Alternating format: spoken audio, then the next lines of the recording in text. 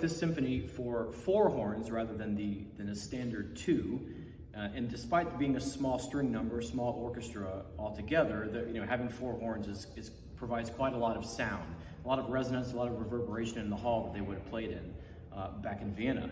Um, and so what you hear between the four horn players is a lot of fanfares, a lot of triumphant uh, sounding music. There's a lot of alternating melodies between the first horn and the concertmaster um, as, uh, as throughout the second movement. And as you continue on to the fourth movement, there's a lot of theme and variation that toggles between the cello, the flute, the oboe, the French horn, and a concertmaster as well.